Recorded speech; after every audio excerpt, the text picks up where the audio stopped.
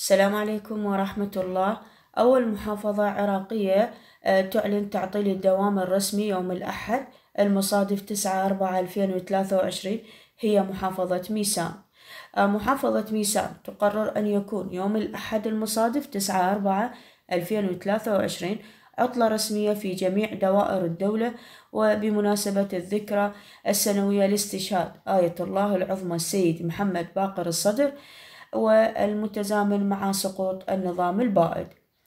آه، طبعا آه، محافظة ميسان آه، قررت هاي أول محافظة قررت أن تكون يوم الأحد هي عطلة رسمية بمناسبتين ذكرى استشهاد السيد محمد باقر الصدر وذكرى أيضا سقوط النظام البائد.